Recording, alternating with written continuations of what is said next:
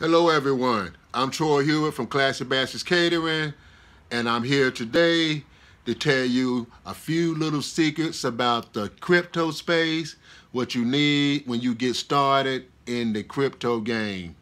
And there are all different kinds of exchanges all over the world where you can purchase your crypto. That's the first thing you need to do. You need to find an exchange and purchase your crypto. And then once you find you an exchange, you got to have your wallet where you can store your crypto.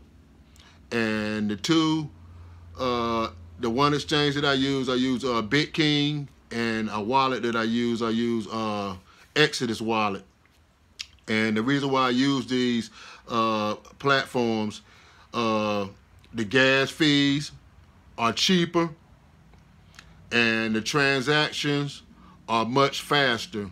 And what I mean by that, so when you purchase crypto, you know, it's millions of people out here online uh, purchasing crypto, and it get the lines get clogged up, and sometimes it cause delays. Sometimes you might have do your transactions in an hour, or sometimes you might do it in two hours, or sometimes it might take 24 hours to get your transaction in.